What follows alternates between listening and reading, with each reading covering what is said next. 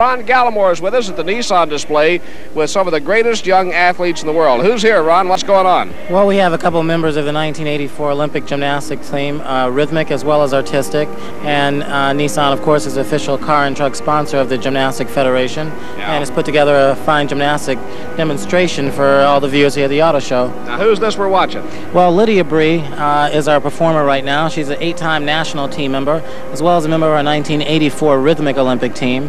And rhythmic uh, uh, gymnastics is a pretty new sport to, to many viewers. Uh, it was introduced for the first time in Olympic competition in Los Angeles just recently, and it's a very beautiful sport.